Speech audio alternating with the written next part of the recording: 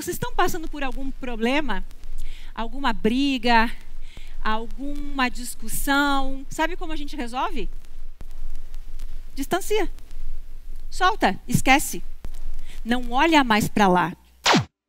Tem um problema aqui. Vamos simular. Pode ser relacionamento, você e o chefe, família, você e tua irmã, você e teu pai, sei lá. Um problema, discussãozinha, fofoquinha, briguinha, e vai e fala. Quanto mais você olha, quanto mais você observa o problema, mais ele cresce. Porque todo pensamento que você gerar em relação a isso aqui vai criar uma forma. Quando você deixa esse problema aqui e você não olha mais para ele, vai fazer suas coisas. Passa um dia, dois, não coloque energia nisso. Nem positiva e nem negativa, esquece, se distancia. Não olha mais. O que, que acontece com isso aqui? Olha só que interessante. Duas mentes aqui dentro. Quem conhece física quântica? Quem conhece física quântica já entendeu, né? O observador colapsa a realidade. Quem não conhece, está achando que é só uma dica motivacional, né? Nossa, ela é inteligente. Gente, isso aqui tudo é física, é tudo ciência que eu estou falando. Se eu estou olhando para esse problema, observando ele, ele está tomando forma de acordo com o que eu penso. E o meu pensamento é energia e informação. Energia e informação.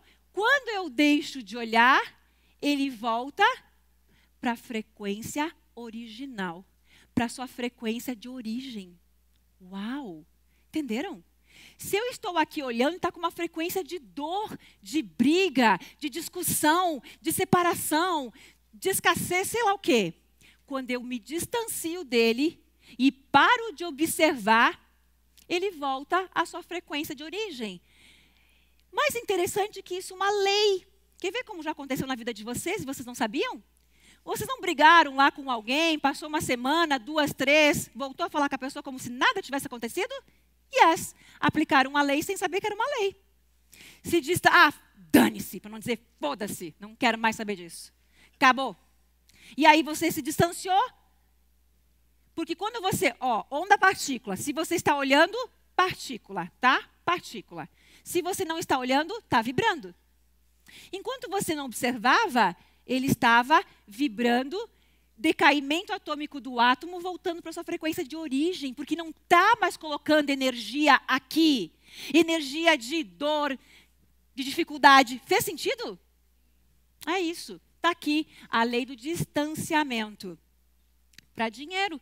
Por que, que rico cada vez tem mais dinheiro? Não se preocupa com dinheiro, né? Não se preocupa. Está distante e o dinheiro vem, vem, vem, vem, vem. E quando você precisa, você está ali, ele não vem, né?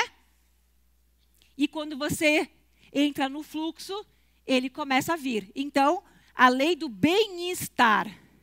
Tudo é bem-estar.